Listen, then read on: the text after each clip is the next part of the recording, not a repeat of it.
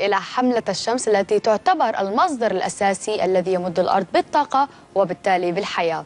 ولكن مع التقلبات المناخية الناتجة عن التلوث البيئي أصبحت أضرار الشمس أكثر من فوائدها. لهذا السبب طبعا أطلقت حملة التوعية عن الشمس في دولة الإمارات. طبعا نتعرف على هذه الحملة أكثر من الدكتور حسن كلاداري طبيب جلدية في جامعة الإمارات. مرحبا فيك دكتور. أهلا وسهلا.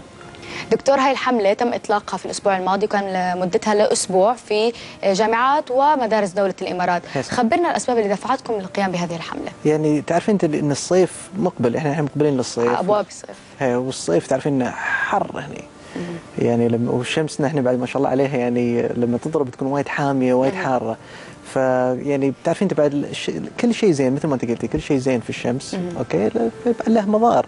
فاحنا نوعا ما يعني هالتوعية هذه بغينا نخبر الناس نعرفهم أصلا شو مضار الشمس لأن كثير من الناس الحين بيبتدون يطلعون برا عندهم تجوال برا خارجي وفي نفس الوقت الناس صاروا بعد يحبون هال تعرضهم للشمس صح. عشان يحصلون هاللون البرونزاج لون. البرونزاج إيه فعشان شيء يعني بغينا نخبرهم انه أصلا يعني ال- البرونزاج هذا له مضار أكثر مما له فوائد. طيب دكتور يعني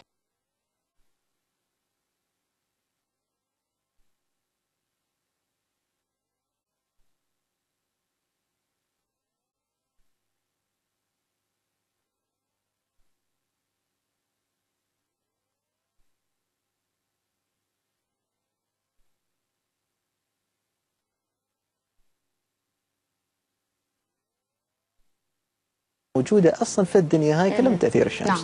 آه لكن طبعا إذا تعرضت أنت للشمس لفترات طويلة هناك تحس بالمضار.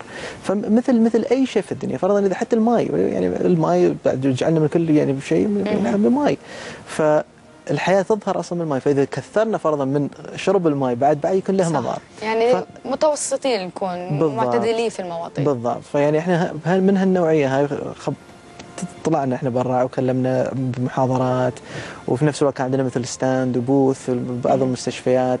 تكلمنا طبعا عن مضار الشمس وطريقة يعني يعني الحماية أصلا الشمس يعني الشخص يقدر يتمتع في الصيف لكن بعد إنه يعني يكون في طرق حماية ووقاية. بالضبط. قبل ما نحكي على الطرق دكتور اسمح لي إنه آه يعني خبرني كيف كان تجاوب الطلاب مع هالموضوع بنعرف كل الطلاب هلأ لأنهم كثير بيتابعوا التلفزيونات وهيك موضوع ال bronzage كثير. دارج فكثير بحبوا الشمس لياخذوا هال style المعين بالضبط. كيف اقتنعوا بهالموضوع؟ هو تب- تبون صراحة للأسف الإعلام يعني لعب دور كبير من ناحية ان هال- البرونزاج فصار كل يعني كل واحد لونه أبيض يبغى يسمر وكل واحد لونه أسمر يبغى يبيض.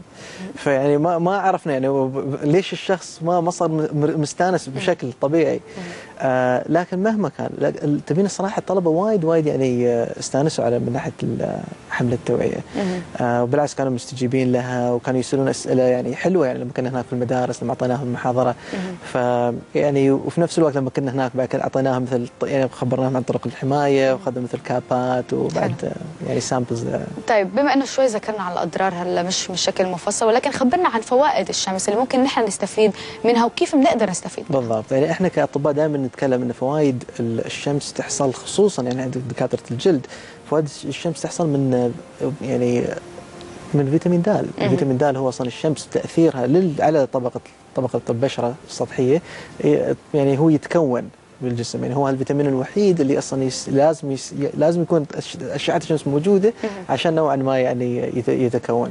طبعا فيتامين د صار له فوائد كثيرة.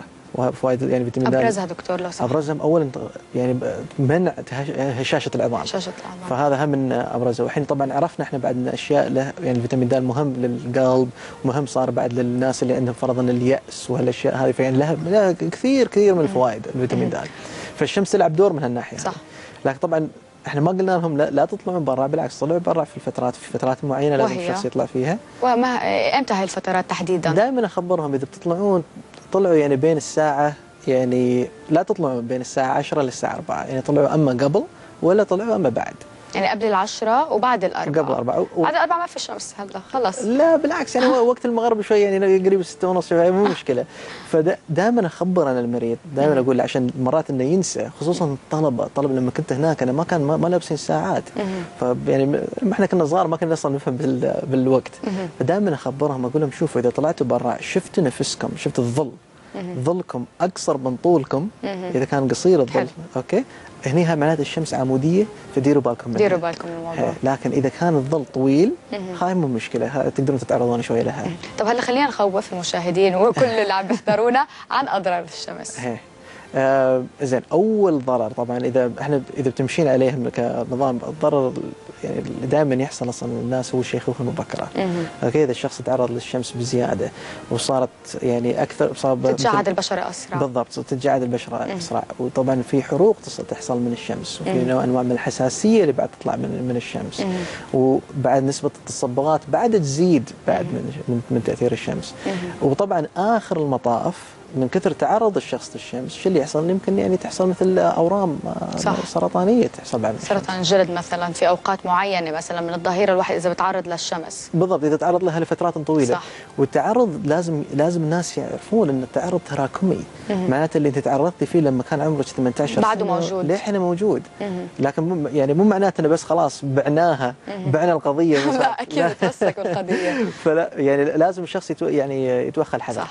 طيب دكتور يعني احكي لنا طرق وقاية من الشمس يعني ذكرت بعضها مثل آه، ممكن يلبس قبعة الشخص بالضبط. ليحمي نفسه من الشمس بالإضافة للوقت المناسب صح. طرق أخرى مثل واقي الشمس للأيدي مثلا أثناء سواقة. السيارة أ- أ- يعني عادة مثل ما انت قلتي بالضبط نفس الأشياء هذه ودائما اخبرهم من الحمد لله بعد هني نوعا ما يعني أغلب الناس يعني متسترين فيلبسون مثل أكمام طويلة صح. فدائما ال- الملابس بعد يعني تلعب دور كبير من ناحية حمايتنا للشمس.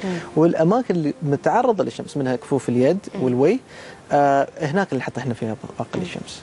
يعني لازم دائما نحط فيها واقي للشمس بالإضافة إنه ممكن يلبسوا بعض ال- في بعض الناس يلبسون أو هيك هي يلب- يلبسون القفازات هذه لكن يعني واحد يقدر يحط قد ما في يحمي نفسه. من. الشمس طبعا لما الواحد يحط الواقي بعد في كثير من الناس يقولون أنا حطيت الواقي الصبح ليش ليش لا يتعرض للمسألة هذه لا الواقي ترى مفعوله يختفي يعني يتم ساعتين ثلاث ساعات لازم بعد يرد مرة ثانية لازم. يستعملوا دائما بشكل. دائم حسب تعرضه للشمس شكرا كثير لك دكتور حسن لتواجدك. معنا شكراً. شكرا